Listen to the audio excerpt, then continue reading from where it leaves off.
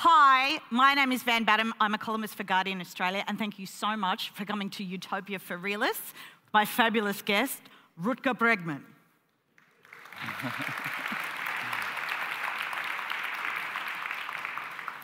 now, before we do anything at all, we have to make the most important acknowledgement of all. That is that tonight we meet on the lands of the Wurundjeri people of the Kulin Nation. I pay my respects to elders past, present, and emerging for the honour of standing on this land tonight, a land that was stolen, never ceded. And I like to take just a couple of seconds for everybody who's Australian to remind themselves just of what that means. Thanks. Well, Rutger Bregman's excellent, and his book is great. You can tell because I've highlighted so many bits. It's an absolutely fascinating pitch for a better, more enlightened, and most importantly, and why we're having this conversation in Australia tonight, a more equal and egalitarian time. Uh, Rutger has been described as one of the most exciting young thinkers in Europe, which, given the fact that Europe is pretty big, is really quite an honour. Uh, he's been nominated for the European Press Prize, which is kind of a big deal twice. Uh, he has published four books. He's a historian. He writes about history, politics, and economics. He's got a lot of really fascinating things to say about the world, and he's said them in publications like The Guardian, which is, of course, the best publication in the world, and The Correspondent, which is some other thing that he's involved with. Can you please give him a huge round of applause?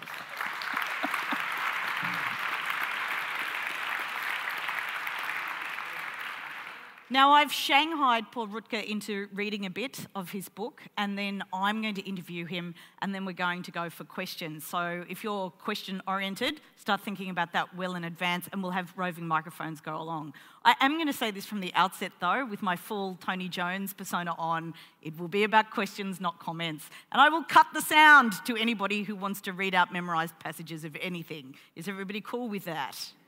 We're going to get along fine. Rutger, give us a read. Sure.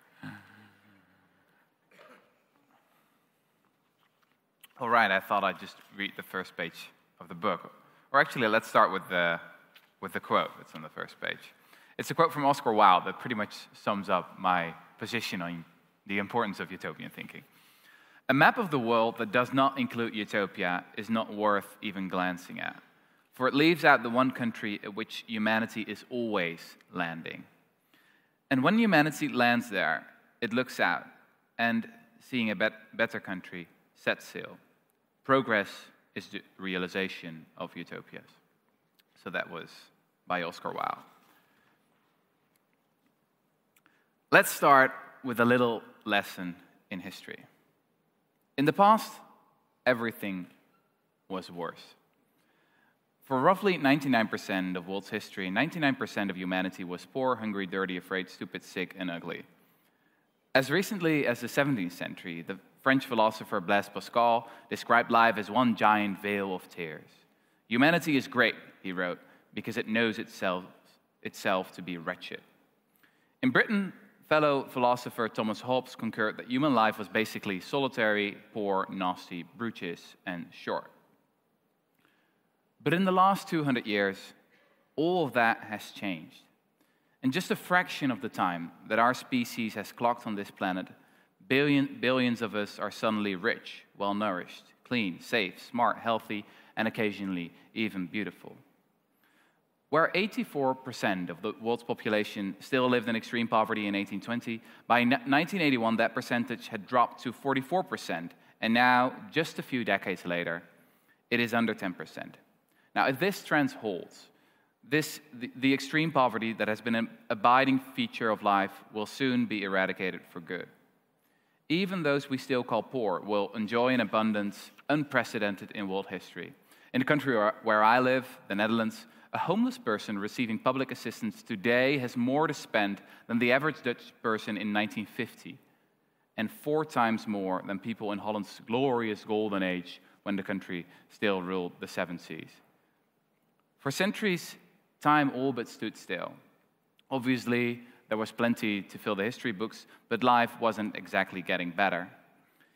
If you were to put an Italian peasant from 1300 in a time machine and drop him in 1870s Tuscany, he wouldn't notice much of a difference.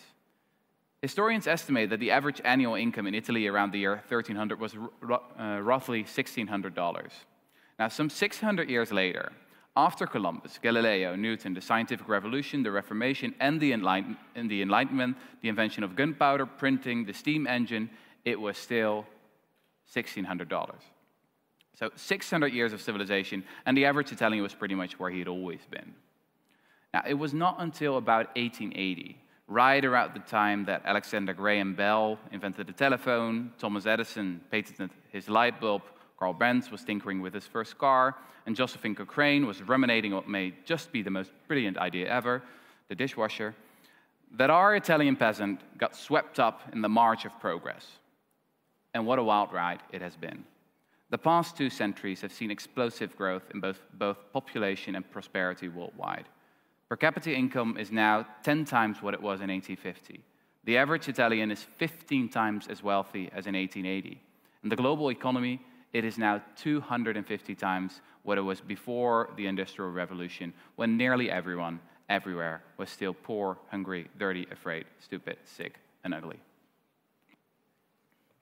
So it starts with a bit of a bang. Um, and Rutger, I'm interested in what motivated you to write this book and, wh- and what was the moment that went right i'm going to make a pitch for a new mm-hmm. direction how did that happen what was that process well i first wanted to acknowledge you know as, as a historian that you know the past 200 years have, we've seen tremendous progress right we are wealthier we are healthier uh, we are smarter than ever in many ways um, so if you look at utopias throughout history. If you would go, for example, to the Middle Ages and ask a farmer who lived back then, you know, what is your utopia?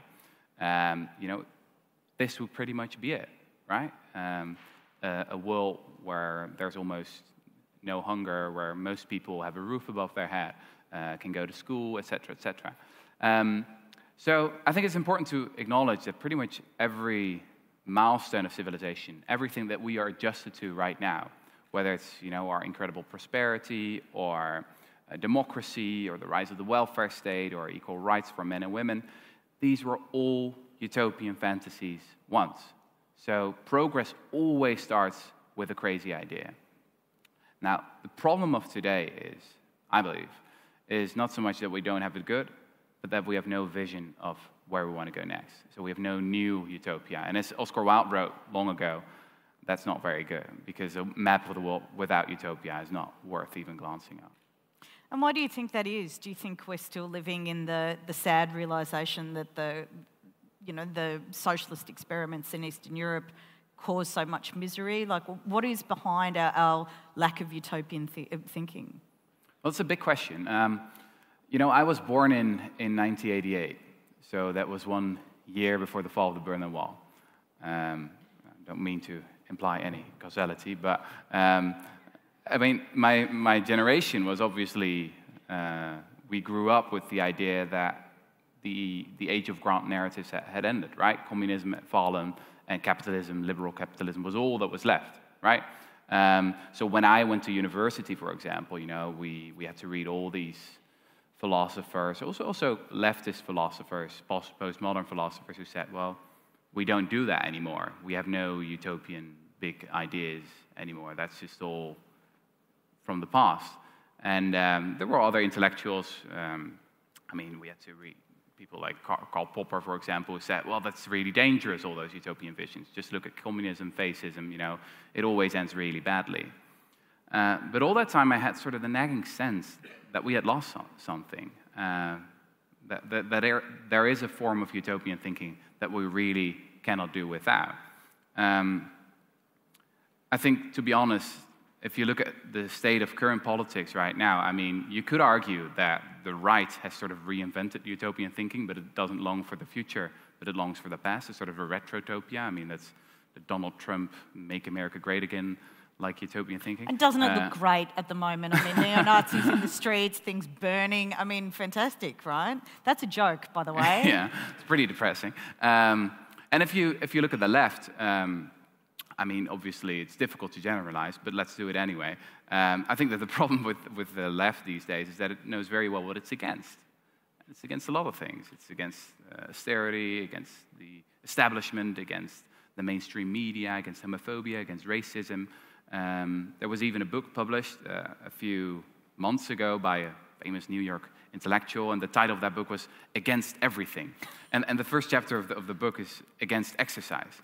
Now, I'm against all those things, you know, especially exercise, but um, I think you also need to be for something, right? You also need to have some idea of where you want to go next. It's been interesting, particularly given the sort of Trump situation, to see the, rea- the equal and opposite reaction in the rise of, say, uh, Jeremy Corbyn or Bernie Sanders getting close but not close enough. These candidates certainly seem to embody like a, a zeitgeist of, of moving forward, but the criticism that's been levelled at them is that the detail is sparse. Mm-hmm. Are they symptomatic of a, a, of a progress? mission, a progress project that's still trying to regain its language after so many words were destroyed by the Cold War? Well, there's someone who, for, I can't remember his name, but he wrote a quite good article for Jacobin, the, the American publication, who, who called Bernie Sanders and, and Corbyn, he called them the survivors. And that's basically what they are. I mean, back in the 70s, pretty much all politicians on the left were like them. I mean, it's all the standard package, like strong trade unions, you know, tackle inequality, uh, higher wages in the public sector, etc. And it's, it's, it's, it's, a great package. Sure, I'm, I'm, I, I would all be all in favor of that. The, the, I mean, most of their colleagues changed their mind, right, during the 90s, and they went off to become consultants and have great salaries. But somehow these, like Corbyn and, and Bernie Sanders, didn't. Um, it's, it's almost like they have come out of a time machine and suddenly um, we were ready for, for, for, for these kind of politicians. But it is true, though, that um, there are also some, I think, exciting new ideas out there that also deserve a, a political s- stage. Uh, I, I, really believe that universal basic income is one of them. Um, but, you know, to be honest, I think that real change doesn't really start in places like Washington or Westminster or within the Labour Party or um, I think it often starts in, well, in places like this or just people coming together at the local level who have these kind of crazy ideas and you know spread them to their friends. I think that's that's often how it starts. At least that's how it started. For example, with basic income in Holland, you know, it really the whole. There are now 20 cities that want to start a basic income experiment, and that really started on the local level.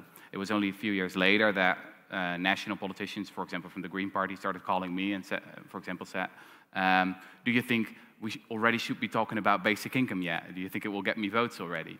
So I think that sort of illustrates how it works, you know? It, it, never, it never starts in the political capitals of the world, it always ends there. It is interesting because certainly with Corbyn and Sanders, it's extraordinary to think, you know, these beacons of a, like a, a, new progressive enlightenment mm-hmm. are actually like old white men, like all, yeah. you know, they're demographically indivisible from all the other old white men that caused all the problems. Um, and I mean, I'm interested to know with your book and with obviously a community of ideas that's around you, is there a leadership coming from a younger generation? What does that leadership look like?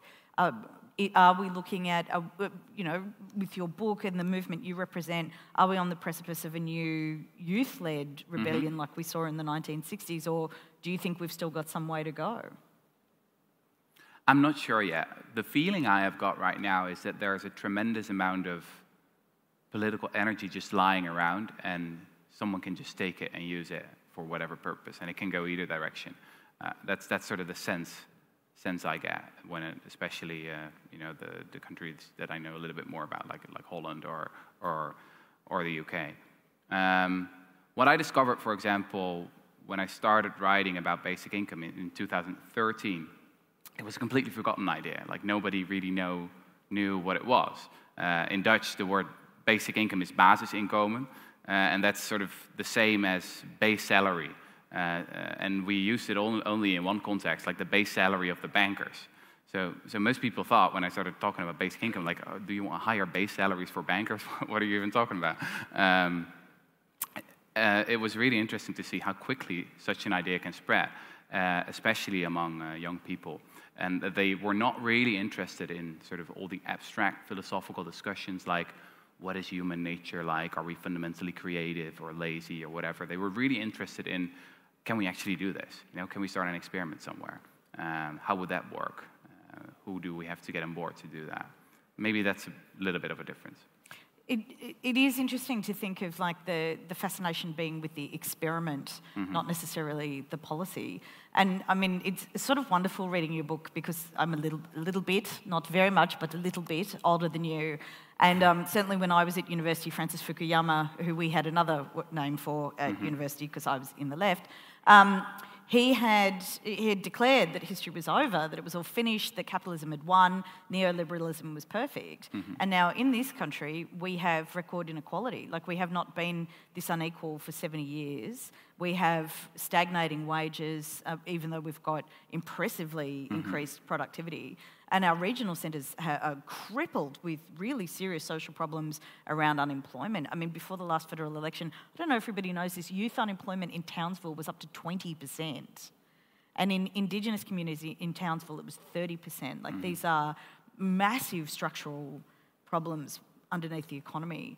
Do you think that, you know, the experiment is more important than the actual policy? Do you think we're exploring a new dreamland because we're we have been out of ideas for so long?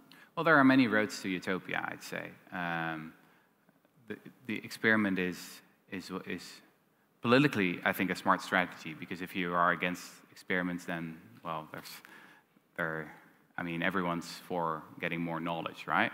Yeah, to not learn more about. in this country, actually, but can. but it's, it's a hard position to defend anyway. Um, so uh, I think I think in that, but I mean, you could also with a, with we could also make our current welfare state look, let it look a little bit more like the UBI. So I'm not saying that, I don't know, experiments is the only way forward or anything. And I'm also not saying that other um, initiatives to strengthen the welfare state are not important. So there are some people, especially in Silicon Valley or on the libertarian right, who say, well, let's just get rid of the whole welfare state of universal healthcare, et cetera, et cetera, and let's replace it with one small cash grant. And let me be clear about that. That, be, that would be a real disaster. I really see the basic income as a supplement to all the other great achievements of social de- democracy. You know, it would be the crowning achievement, uh, but it's really something that you put on top of all the other, other things. So, how, where did it come to you, basic income? Like you said that the first time you heard the term, mm-hmm. you thought it had something to do with like banker contracts. Yeah. So, where did it come from? Well, this is a funny story, actually. Um, I had already written about the need for a radically shorter working week. So, I had already written uh, an essay about, you know, Keynes' prediction that we would all be working 15 hours a week in 2030, and that something went wrong since the 1980s. That we've been working more and more, and consuming more stuff that we don't really need. So I was interested in a simple question how do we get people to work less? You know, what do we have to do then? So I was just sitting in my chair and thinking, hmm, well, maybe, maybe if you just give them money, you know, at some point, maybe people just stop working. And I, so, so I started Googling it free money, work, experiment, blah, blah, blah. And I don't know, I came onto, onto some obscure blog uh, that talked about basic income. I had never heard about it before. So I started researching that, and uh, yeah, that's sort of how I got into all these fascinating experiments that happened in the 1970s in the US and Canada. And I quickly discovered that a basic income is a very bad way to get people to do, to do less. Well, maybe they, they do less paid work and more unpaid work, but often people, you know, get up and do, do more actually, um, are more creative. There's, there's one funny example in, uh, of a, uh, of a sort of basic income like policy we had in Holland, uh, where for about two or three decades, uh, artists uh, uh, could receive a basic income from the government, and there, it was pretty much unconditional. The only thing they had to do is produce a piece of art, like every month, month or so. And if they couldn't sell it, then the government, then they could give it to the government. Uh, now, the problem was is that well, some people might expect, well, with a basic income, people will probably be lazy and watch Netflix, etc. Well, the problem was the, the exact opposite here. Today, up until this, this day, like many, many cities and, and, and municipalities are debating in the Netherlands, what do we do with like the mountains of art that we, that we created in this period? Like all the archives are full with, with way too many paintings and sculptures, etc. So there, it was like an explosion of creativity. As just people were, yeah, a bit too creative almost. One of the things I found really interesting about the book uh, was the story of how close Richard Nixon, mm-hmm. not, a, not a person who Australians would necessarily associate with some kind of great progressive social experiment, mm-hmm. um, was one was a proponent of a basic income and had declared war on poverty. And I'd love you to recount the story of what happened there because it is a truly fascinating piece of history. Yeah, and I think it's a great example as well of that real change doesn't start again with, with politicians or in the center, etc. I mean, Nixon here was just the end of the line. Um, not many people know that at the end of the 60s, almost everyone in the US believed that some form of basic income, of a guaranteed annual income, was going to be implemented sooner uh, or later. So, um, Martin Luther King had come out in favor of it. Uh, the famous left wing economist John Kenneth Galbraith was in favor of it. Uh, Milton Friedman, even the neoliberal economists, they all thought this is it. You know, there had been a letter on the front page of the New York Times signed by a thousand economists who all said we need this policy.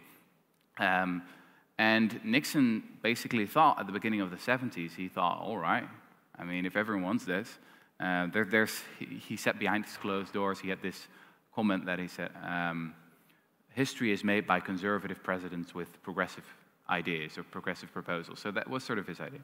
Uh, and he had a m- proposal for a, for a uh, modest basic income.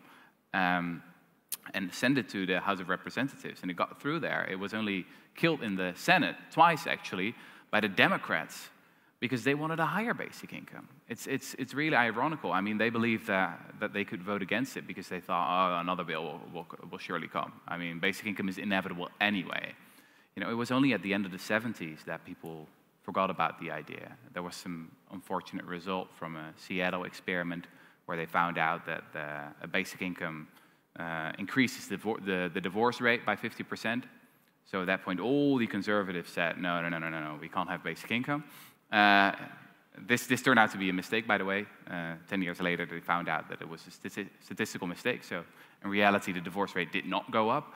Um, but I think that if you, if you really look at their history, it's so full of bizarre coincidences. And it, I think it really shows you that in the end, um, there's nothing inevitable in these kind of developments. It could easily have happened. And also, when people say, oh, we need basic income because of the robots, hmm, no, we needed it 40 years ago, right? We don't need to wait for the robots. We are already more than rich enough. We've got the means, we've got the research, uh, we've got so much evidence that it really works. Uh, why wait? Uh, well, I can play devil's advocate as to mm-hmm. why to wait. I mean, uh, you're arriving in Australia at a very interesting time. Like I said, wages are stagnating. Um, we've had an ongoing attacks on our welfare state, the uh, erosions of the services that we once took for granted. And we have a government that are uh, uh, recently elected, only just over a year ago, on a platform of giving $65 billion worth of tax concessions to corporations who made uh, a 40% profit on their work from last year. When we're living in a, in a cultural moment where the orthodoxy is still, you know, attached to uh, trickle down economics, something that we know has been debunked, mm-hmm. that we have all the economic evidence of the world, like the you know, garbage fire, which is America, to look at rising inequality and the, the problems with that system. Mm-hmm. Why is there such a resistance to a, to a, a more collectivist approach mm-hmm. to the dispersal of wealth? I mean, apart from the obvious, why are people voting in governments that do these kind of things? It's, I mean, it's a really big question. I probably. I, I mean, love could, big questions. Could, could write, I write for the Guardian. yeah, what yeah. all about. Could write a lot of books about it. But I guess that one of the problems that that is that's happening here all the time is that um, in in politics there's an eternal battle for concepts like freedom or progress or innovation or e- efficiency. Right? These are things that everyone is for. Everyone is for freedom. Everyone is for making things more efficient. Everyone wants progress. Now in the 1960s, and actually for a long time, um, you, you, could argue for 100 or 150 years, all these words were mainly used by the left. Like the left was the party of progress and, and of making things more efficient and, and innovation and, and, giving people freedom. Innovation uh, is a big word here as long as it's agile. We love a bit of agile. exactly, exactly. All these words are basically were, were hijacked by conservatives or, and, and, by the right. Now, what I try to do in the book, the, the trick that I try to pull, is sort of to use that language that, that we now perceive as right-wing language. I try to use it and to defend progressive ideals. So, for example, if you argue about, talk about something like eradicating poverty, you could say, well, we, we should eradicate poverty because we should pity all these poor people. It's just a scandal, etc., etc. And there's a certain part, I think, a relatively small part of the population that will be receptive to that kind of language and argument, uh, the, sort of the caring uh, language. You could also say, well, eradicating poverty is just a very smart and rational proposal, proposal policy. Um, it's an investment that pays for itself. We've got a mountain of evidence uh, that shows that if you eradicate poverty, healthcare costs go down, crime goes down, kids perform much better in school, uh, you know, people become uh, taxpayers, etc., etc. Um, this just makes sense. Uh, and, and there are some, some stories in the book actually also about right wing politicians who realize this. For example, um, conservative policy in Utah, like a, the, uh, he was Mormon, very conservative state. And he looks at the numbers of, of what we should do about homelessness and realizes that it's actually cheaper to give people free apartments than to let them live on the streets. And this is something that we find time and time again. Um, there are, there are, it, it, makes sense. So even if, you, even if you don't have a heart, you still have a wallet, right? um, so I think that's one of the strategies we could use to, to make our sort of these old-fashioned leftist proposals much more interesting. So explain, because I mean, I'm sure a lot of people here, who, who's, who's referent with universal basic income as a concept? Who's not? Who's like, what, what is this thing? Rutger, maybe it's useful for you to explain how the concept works. So sure. Everybody... Sure. Well, it's a, it's a very, very simple idea. Ba- basic income is a monthly grant that is enough to pay for your basic needs. So that's food, shelter, clothing.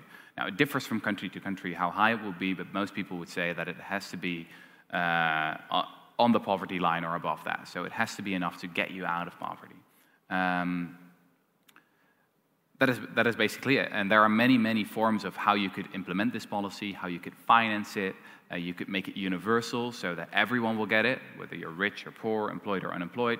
You could also say, let's make it a guaranteed annual income so that you just top up the income of everyone who, who goes uh, beneath the poverty line. So there are many versions. Uh, but what I'm arguing for in the book is really like the guaranteed annual income, to completely eradicate poverty and give everyone the means to decide for themselves, you know, what to do with their lives. Um, I've got to say, uh, any idea that's backed by Milton Friedman is one that I personally mm-hmm. am quite suspicious of. Mm-hmm. So, why are like radical neoliberals like Friedman in support of a universal basic income? Well, there's something that libertarians like about it. I mean, if you would introduce a basic income, you could shrink the role of the state in, in some way. I mean, what, when we, the welfare state we have now is in many ways quite paternalistic, right? It, uh, it often, like the old left often says, sure, we want to help you, but on our terms. So you got to do this an employment course for the unemployed or whatever, or we're going to send you this care worker that's going to look at your bills and help you with that, et cetera, et cetera. And that's something that libertarians or people on the right often don't like. What I think that a basic income does is combine the best of left wing and right wing thinking. So, yes, the left will get its eradication of poverty, reduce inequality, but the right will get a smaller state in, in terms of paternalism.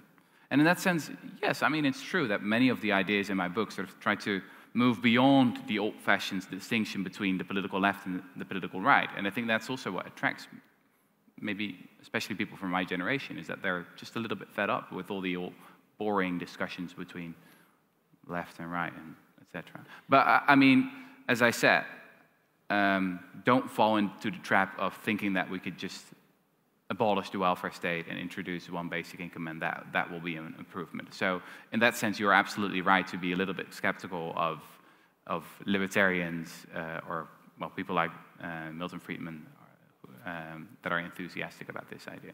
And certainly in the context where, you know, the, the ongoing project of the neoliberal right is the erosion of the state. And, mm-hmm. and, and not merely to erode the state, but to erode the very principle of collectivism. It does seem a bit of a contradiction that to, to fund a system that empowers everybody economically with disposable income would require the most radical transformation of taxation collection in history. And I can't necessarily see our libertarian friends getting behind that. Is that a, a challenge? Well, I think actually the basic income is a Trojan horse for, the, for our libertarian friends. So, one of the most radical effects of a basic income will be that it's a universal strike fund, right? If you have a basic income, you can always go on strike.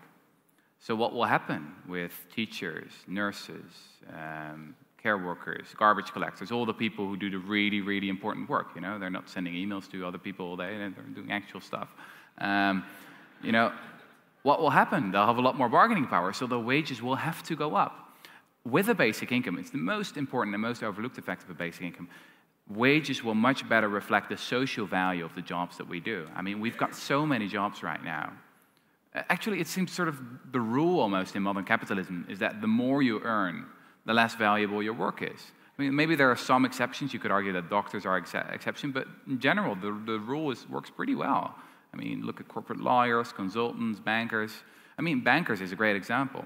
Uh, there's recent studies from the International Monetary Fund or the Bank of International Settlements that shows, I mean, not leftist, leftist think tanks, right? neoliberal institutions, you'd say. Now, even these guys say that as soon as the financial sector gets bigger than 100% of GDP, um, it starts destroying wealth. Now, in many countries, um, countries like Holland, Australia, the UK, it has, has become, got bigger than 100, 150% of GDP or 200% of GDP. So, about half of all bankers should basically earn a negative salary, you know, if you are really in favor of meritocracy. There's another one of those words meritocracy. Everyone's in favor of that. Well, if we would have a real meritocracy in this country or in all the other developed countries, well, that'd be quite radical, right? Then, then, then so many white collar workers with excellent resumes would start earning a negative salary because they destroy more wealth than they create. I've got to say, um, one of the things I really love about this book is how friendly it is. Like for a book about history and politics and economics, um, it is written in such an engaging way. And um, it was a delight to encounter a chapter entitled Bullshit Jobs, um, where Rutger goes into some detail about just how bullshit some jobs really can be. On the subject of meritocracy, though, and I say this about my own reservations about universal basic income. Mm-hmm when I look at a proposal that says everybody gets enough money to live, mm-hmm. um, I look at it obviously as a feminist and as an advocate for inclusion and diversity. Because in, in, certainly in this country, like the structure of work is very gendered. Um, the structure of work is very exclusive. Um, everything from the, the temperature of the air conditioning in buildings, and there was a big article about this a couple of years ago, and in our Parliament House, is geared towards men wearing suits and ties, which you can mm. imagine in Australia is kind of completely ridiculous, but we do it anyway. Um, uh, issues to do with uh, women in pregnancy, women's health, uh, the patriarchal tradition of childcare being a woman's responsibility. I look at universal basic income as a Trojan horse for the side of feminists and mm-hmm. also particularly disability advocates whose ongoing campaign is for workplaces that enfranchise us, that are flexible, that give us access, that are accommodating. Um, the fact that there are jobs in this country you cannot do if you're in a wheelchair is, you know, disgusting and disgraceful. Mm-hmm. In the case of a universal basic income, where a you know, a community can turn around and go, well, everybody's got money. We don't need to reform our workplaces. We don't need to put in ramps. We don't need to enfranchise you with flexible hours because you have an income. Mm-hmm. Isn't there a real structural risk there about maintaining and even entrenching the systems mm-hmm. that already exclude people from the liberation, which is socialisation mm-hmm. through work? I think there's a real risk. I mean, every great idea can be hijacked, right? That has happened so many times in history. If you look at things like participatory democracy, which I'm a really big fan of, or even stuff like mindfulness, you know, everything can be hijacked by the neoliberals. But I think that's not a reason to just turn back. I just think it's a reason to be very specific about what future you actually want and what form of basic income you really want and what other policies, policy you, you, you would like to see alongside of it. Um, and to be honest, I think that a basic income would advance the, the, the cause of feminists in, in two important ways. Um, in the first place, a basic income is a recognition of the fact that so much of the really important work we do is unpaid. And historically, and still up until this day, much of, most of that unpaid work um, has been done and is done by women, like caring for our children, caring for our elderly, lots of volunteers work, participating in our lo- local communities, you name it. And a basic income is a recognition of that, that fact, that that is really, really important work and that we need to provide people with the means to do more of that. Um, now, the other thing, it connects to what I was saying earlier, is that most of the jobs with relatively low wages uh, but very high social value are also dominated by women. So it's mostly women who will get that extra bargaining power that I was just talking about. So I'm not saying it's sort of a panacea, but to be honest, I think basic income is something a feminist today should be, should be for. Um, you can imagine, as a woman whose experience of feminism has been quite direct, mm-hmm. I, have got to say, and especially in this country as well, where workplaces have served the colonial project mm-hmm. to marginalise and exclude Indigenous people. And reading the book, like I, I certainly, I can see all your arguments, but writing from the lens of somebody who lives in, you know, a colonising community as opposed to a colonised one, again and again in this country, we have to look at the economic reality, which is the dispossession of Aboriginal people, land stolen, um, deprived of access to social institutions. And I, I, I, can't help but keep seeing the notion of a universal basic income as a way to keep those walls up mm-hmm. and to, as a means of um, perpetuating a de skilling and a, a prevention of access to mm-hmm. forms of social power. Mm-hmm. I mean, as, as a European, how do, you, how do you countenance that? Well, the devil's in the details. So, how do you finance it, for example? I mean, you could finance a basic income with, I don't know, something, a consumption tax. And we know that consumption taxes are highly regressive, so they mainly are paid by the middle, lower middle classes and the middle classes and, and the poor, and the rich relatively pay little consumption taxes. So, if you do it that way, yeah, probably be disastrous, and probably inequality will go up. Now, that's not what I'm advocating at all, obviously. I'd say that the rich will basically have to pay for the, the basic income, at least in the, in the short run. Um, they'll pay for five basic income and receive only one, right? Don't get me wrong, I think that in the long run they'll benefit as well. Because everyone benefits from living in a society where no one has to sleep on the streets, mm. where no one is in poverty. You know, there's, there's some fascinating research uh, that I go, new research that I go over in the book that, that shows that if you get people out of the poverty, that their IQ goes up by 13 or 14 points. So just imagine what an explosion of energy and creativity it would mean if we would give millions of people more opportunities. Just imagine what an explosion of creativity it would mean if all those people in, in meaningless jobs would stop doing that and would do something that would actually create something of value, right? Um, anyone, everyone will benefit that, uh, because of that, even, and also the rich. Um, but in the short term, uh, yes, it's, it's an investment, and I think that investment should mainly be paid for by the rich, especially uh, now that inequality is rising and rising. Dude, if you're raising a people's army to seize control of the state, I've got no problem with that. um, I, I, I, found some of the it was actually really quite moving, your consideration in the book about the impact of inequality, particularly on children. Mm-hmm. And, and, you were talking about how, uh, like, removing poverty, and you used the case of a Cherokee community yeah. who had to build a casino to have a reliable, renewable source of income that they could mm-hmm. control on their own land. Um, that, uh, that suddenly you saw improved health outcomes, you see improved educational yeah. outcomes. Um, I, if you could talk to the audience about some of the things you mentioned in the book, because there were some st- statistics and realities about the effects of those inequalities, which yeah. were just really upsetting. Well, well, what I've what I've discovered while talking about this book is that people are really most convinced by stories of, of, of like cities or governments that actually experimented with this and what actually really happens. So one of the stories in the book is about an experiment that happened in Canada in 1974. Uh, it was a small town called Dauphin where they gave guaranteed everyone a basic income. So it was, the, it was called the town with no poverty. The experiment ran for four years, and during those four years, you know, there were a lot of economists, sociologists, anthropologists who all descended on the town and did their research. So they did interviews, they collected data, they looked at all the, the numbers and the graphs, etc., etc. Now, in 1978, uh, there was a new government that came to power in Canada, and they looked at this experiment and thought, what are you doing? I mean, you are giving free money to people unconditionally. So they said, well, stop this at once, and there was no money left to analyze the results.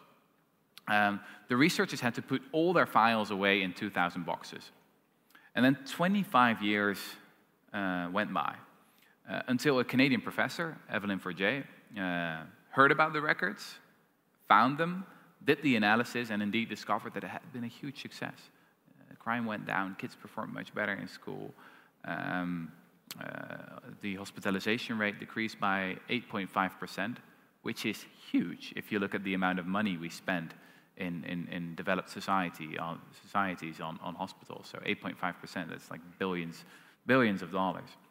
Uh, and indeed, this is, this is what you find uh, when we look at these kind of experiments. In the, the experiment you talked about with the, um, with the casino that opened in the, in the 1990s, it's pretty much the same result, but with one even more interesting twist is that uh, another researcher from uh, UCLA uh, later calculated that actually the benefits of the basic income in terms of lower healthcare costs, lower crime rates, you know, etc., all those things you don't have to spend money on anymore, were actually higher than the basic income grants themselves. So it really is an investment that pays for itself. Now, I, I think it's, it's, it's really a pity that I almost never hear any leftist politician to make the case for for doing something about poverty in that way. It's almost always the case like we should do this because we are morally obliged and because we should, you know, and then the right only has to say, yeah, sure, but we can't afford it. No, what we really cannot afford is poverty. We cannot afford to, let, to, let, to waste so much talent, to waste so much energy, so many people who could really give a great contribution to the common good. But can't we make that argument as well that, you know, rather than an, an individualisation of income. And certainly, like I'm a cheerleader for the welfare state and believe passionately in the, in the investment of pensions and the dole. I've been on the dole myself.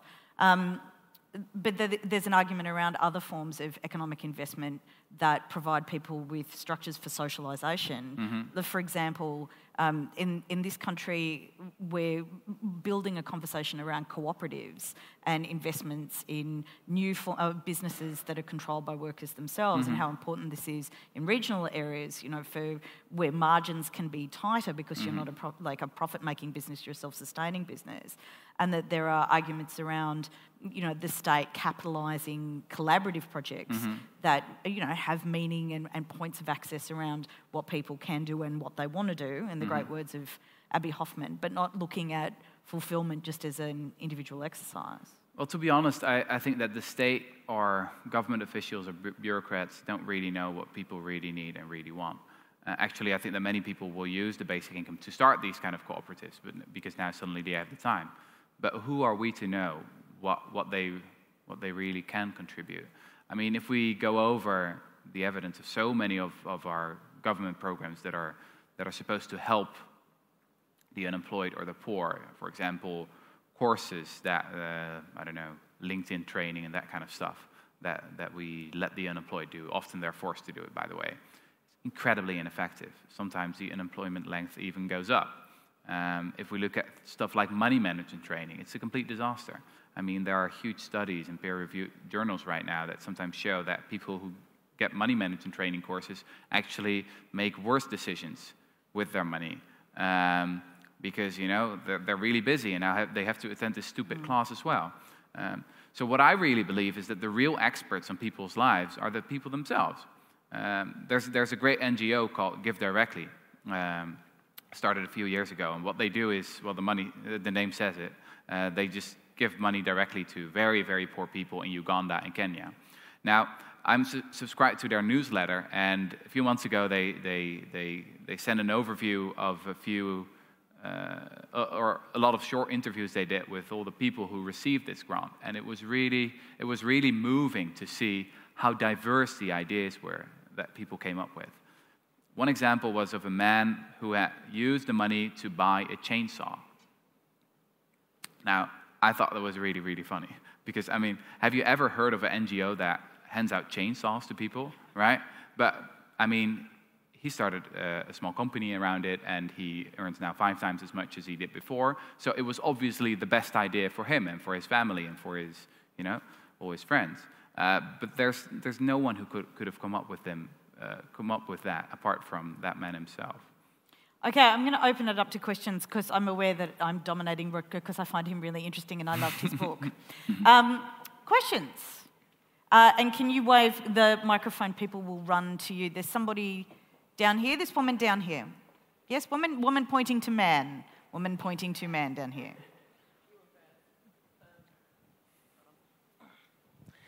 Thank you. Um, incoming still back to the whole question of uh, political realism mm-hmm. in all of the stuff that you're talking about. And uh, I know here in Australia, the adversariality of politics, us, you know, uh, the retardant form of democracy that we really have. The question is do you agree that in countries like Holland, where I'm also from originally, Denmark, Norway, Finland, Sweden, there is a much, much better chance of bringing to fruition and reality some of the stuff that you're talking about purely mm-hmm. because the fact that you know there is a, a politics of participation there is a more democratic way and you could see in holland we had elections on the 15th of march and we now only now are forming a cabinet but still there are really opportunities there for carrying out some of this stuff uh, as already has occurred in the last mm-hmm. 45 years well the story of Holland that I can, that I can tell you is sort of, it, it proves your point, but in a much more pessimistic way, probably. Um, so, what we've seen about 15 years ago was the rise of Geert Wilders, very extreme right wing politician who absolutely hates Muslims and, and Islam and just goes every, every week or every day he, he radicalizes further. Now, you, you might say, well, he that, those kind of politicians are not very influential because they never get into power. I mean, he's never been a minister, he never got into a cabinet or anything. But he's been incredibly influ- influential because he's been dragging all the other parties to the right. So, this is the example of how the right sort of uh, has reinvented the art of utopian thinking. I mean, he is unreasonable, he is unrealistic. You could see him as, as completely ludicrous and crazy. And that's how, been, how he's been really, really influential. So that's, that's basically what has been happening in Holland, and actually, I think, in, in many other countries in Europe as well. Um, there's, a, there's a positive counterexample of that, probably, of what happened in the Labour Party. I mean, for, for years and years, people in the UK, many pundits, politicians said, Labour cannot be too far to the left because then it will lose votes. You know, it's got to stay a little bit in the center because otherwise it will, it will be unelectable, etc. Um, then Jeremy Corbyn came along, and many people predicted that it would be a disaster. And then suddenly, he had the biggest win of seats since 1946. So, all this time, it turned out that the Labour Party was not too radical. It was not radical enough. Um, so, regardless of what kind of specific political system you have, you know, whether you have a completely proportional system like in Holland or whether you have a winner take all system like in, in the UK, I think that in the end, history is really governed by ideas and, and, and new ideas, and those often uh, come from the fringes and not from the center. Yeah, it's always interesting to hear people say, "Oh, you know, we wish we wish it was less combative. We'd like them to get along more." When the history of this country is, the moment the Labor Party went, "Yeah, we'll talk to them," mm-hmm. everybody started hating them, never forgave them for it. All right, uh, can I have a woman ask a question?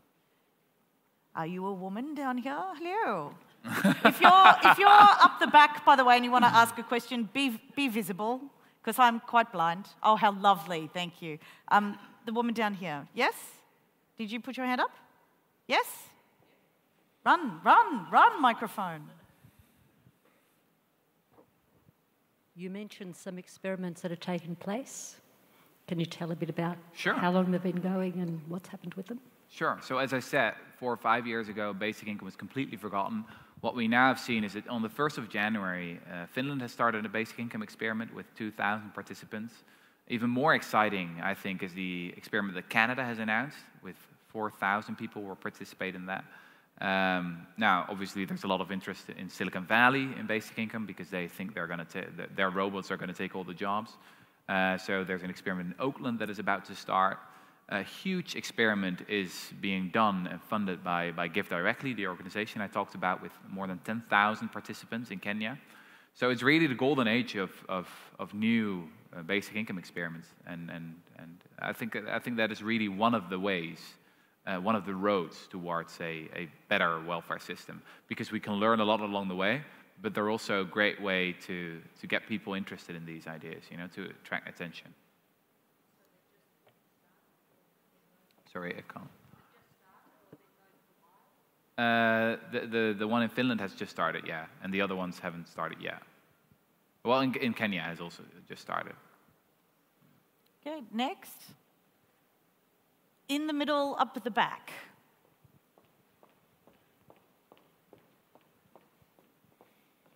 And we'll use these microphone delivery moments so we can think, Can you keep your hand up? reflect. That's not a criticism, you're doing great. Um, Rutger, to what extent do you think uh, our common conceptions of what work is and what work means will be a barrier to implementing universal basic income universally? Because experiments are great, but Yeah. if it's not going to become universal, um, so to what extent are we going to be our worst enemies in the way we see work? That's a really, really good question.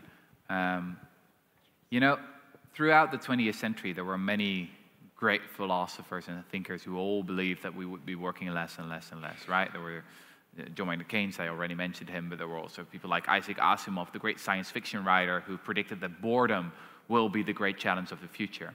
Now, since the 1980s, as we all know, uh, the opposite has started to happen. So we've been working more and more ever since.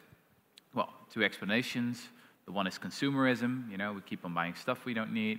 Uh, and the other, the other, I think, more credible explanation is the rise of meaningless jobs or bullshit jobs. as Bullshit the, as jobs. the- As the, uh, it's, it's not my term actually. It's from David Graeber, uh, one of my favorite thinkers, uh, an American anthropologist. Um, so, what I think, when we, for example, when we talk about the rise of robots that are going to take all our jobs, what we underestimate is that capitalism is really good at coming up with new jobs that don't really need to exist. So, according to some recent polls, um, there's a recent poll, for example, from Belgium that says that about 30% of all Belgium, uh, Belgium um, uh, workers think their job is absolutely useless. When I read that, I thought, oh, well, Belgium. I mean, uh, Is then- it even a country? But then I found out They have such long memories, Europeans, don't they? actually, actually, then I found out that in the UK it's 37% of all British workers who have a completely who, who think their own job is completely meaningless.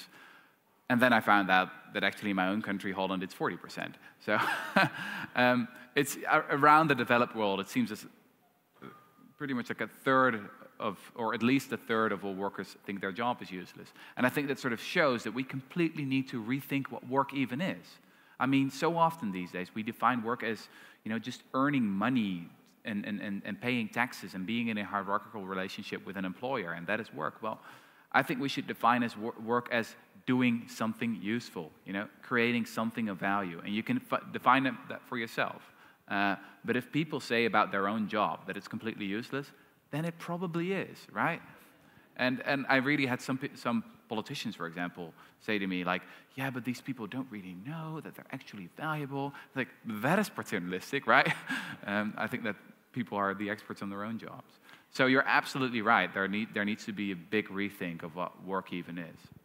Um, everybody who has a job in the room, put your hand up. If you're working, put your hand up.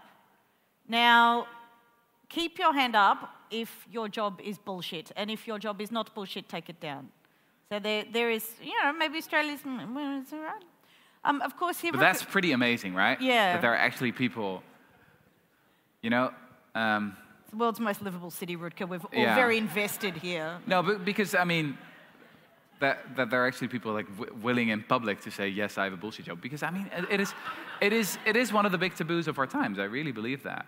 Um, Have you ever had a bullshit job? Oh, that's a great question. No, I don't think so. I think I, everything I did, I, I had a lot of like like small jobs when I was a student.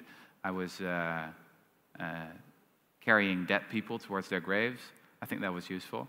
Uh, um, but I, actually, the most interesting phenomenon that I've encountered in the past um, few years is the phenomenon of the part-time bullshit job. So this is this is where it gets really interesting. In journalism, for example, you must know about this. So a lot of journalism want to do journalists want to do investigative journalism, right? That is really interesting and really important.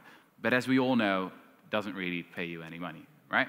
So what Yeah, do you spoiler do? alert, doesn't earn you any money. Okay. So what do you do? Uh, first, as a journalist, you write ads or advertorials or whatever. You write ads for companies that you really, really hate, and you earn a lot of money with that. And then you use that money to do investigative journalism into exactly those kind of companies. So that is sort of, you could call that the circle of bullshit. In, in, in modern capitalism, we fund the things that we really care about with bullshit. I mean, I see that happening all the time. Like, for example, lawyers and consultants who say, yes, yes, I, um, I mean, I really should do something else with their lives. And then what do they do? You know, they use all the money they have earned and, and start, start doing some pro bono work or whatever that, that they think is really important. So this is sort of the, this thing that keeps happening. And the only thing that I'm proposing is let just cut the crap, you know? Immediately start doing what you really think is important. But there's that argument too, I mean, for building up social institutions because they become a form of structural learning. And it, it- on this point specifically, there's a great bit in your book where you talk about how in America, since the Reagan era and trickle down economics, you've seen this transfer of talented young people Yeah. from diverse backgrounds Yeah. who pursue jobs in the financial sector because that's where the money is and that's where the security is. I have a friend, a brilliant guy from a you know lower middle class family in New Jersey, who um, wanted to be a theatre producer and did you know degrees in uh, creative practice. But because he's in America, he found out he had a heart defect.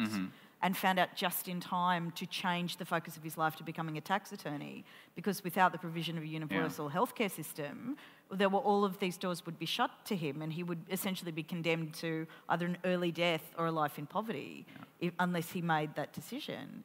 I mean, this is a massive reform Yeah. project for us to take on. Um, but it's a great point. I mean, even when we think about emancipation of, of women or racial minorities, it often means that, that people get into jobs like they're, they're also allowed to exploit. The, that is often what our, or the, de- the definition of, of feminists like uh, Sheryl Sandberg, lean in kind of feminism. That is, you know, the emancipation is complete when we are also allowed to have these bullshit jobs and exploit the, the, the, underclass. Well, I'd rather have a different kind of feminism. And I think you do too. Yeah, right? there's, a, there's a brilliant book, uh, you guys like reading. Um, there's a brilliant book by Hilton Als called White Girls. He's a um, African American queer writer, and there's an essay where he talks about how within the capitalist system, the women in those leadership roles aren't feminists because feminists are humanists, and that's incompatible with the profit project. And we'll take another question, and then we're almost done. The last one. Can I have a woman in the pink? Wait a minute, the microphone is coming to you. Thank you. I think um, this is really interesting, so thank you for that. I'm wondering, I'm going to try to be a little bit provocative. So I'm finding that the idea of um, a universal basic income, I think, is really great, particularly for the reasons. I think it might be very valuable for how we like rethinking work, valuing caring, um, liberating people, encouraging creativity. But every time that the discussion gets to those things, I'm finding that um, people start talking about all the other rules that should accompany the universal basic income because it won't in itself, paying people off to do the child rearing obviously won't emancipate women, right? Mm-hmm. Or, and the same is so with ethnic minorities, of other, pe- other people who are in various ways excluded from the labour market. So, what I want to ask you is whether the unibase, universal basic income is a radical enough idea for the problems that we're facing today. Mm-hmm. And you've got to answer that in one minute. Okay. Well, I believe that basic income and some of the other ideas in my book, like rethinking work, or even more radical idea that we haven't even talked about, opening up our borders, they're a big, big part, part of the picture, and they're, they're big solutions to a lot of problems, but they're not panaceas. Um, it's just like Oscar Wilde written, you know, every time we arrive in utopia, we, we realize that it's not really utopia yet, and we set sail for an even better country. So, um, yeah, it's, it's not something that will solve all problems. Sorry. uh, that's absolutely not true. But I think it's, it's one of the most exciting new ideas out there right now. And we've just hit nine o'clock. Everybody, thank you so much. And um, Rutger is great. His book is fantastic. If you don't own a copy, buy a copy. I believe you're going to be signing them. I will. And he's like one of Europe's most impressive young intellectuals. so don't miss your chance, Melbourne. Um, can you please give him a huge round of applause? Thank you.